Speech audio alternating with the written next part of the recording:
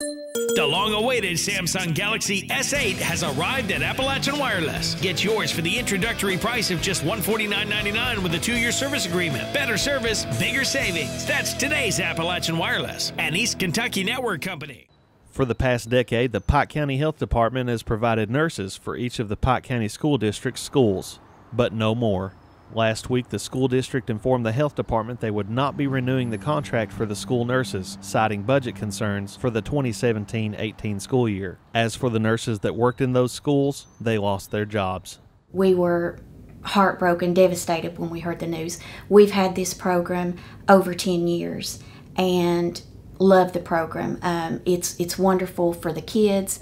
Uh, the students, it's wonderful for the teachers, the principals. I think everybody benefits from the program and um, it was just devastating when we heard the news. Over the past couple of years, the Pike County School District has contributed $350,000 annually toward the school nurse program. Superintendent Reed Adkins said the district was no longer able to do so. After discussion with several other districts and the models they use to provide health care in the schools to their students, I feel there's an opportunity to maximize taxpayers' dollars while still meeting the healthcare needs of our students. We expected uh, that they might have to reduce the contribution, um, but we we didn't expect this to happen. And we understand the situation we're in because, like you said, we're all you know everybody's feeling it.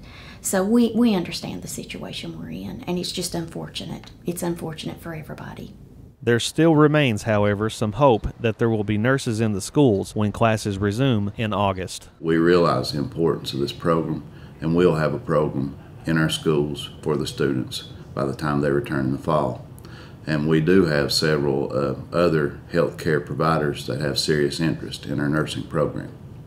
Superintendent Reed Adkins declined to name those interested in possibly picking up where the contract with the health department left off. The Pike County Health Department said the situation would not affect the school nurses in the Pikeville Independent School System. In Pikeville, Chris Anderson, EKB News.